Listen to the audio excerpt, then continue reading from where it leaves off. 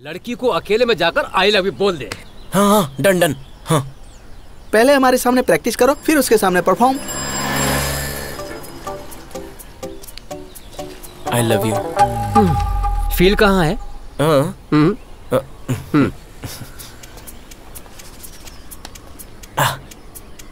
okay.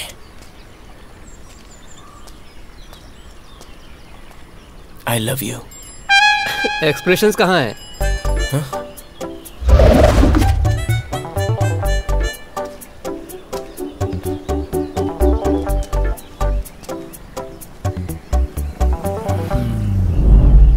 Dialogue किधर है? Expressions feelings dialogue सब एक साथ कैसे याद रखूँगा यार?